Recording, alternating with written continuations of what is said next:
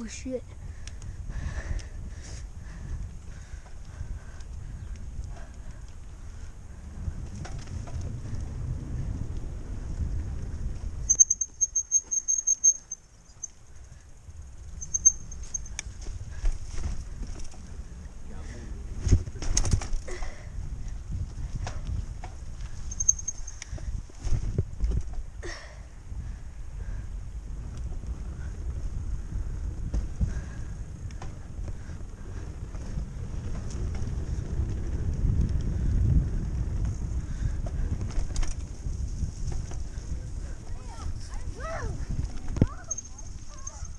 Excuse me.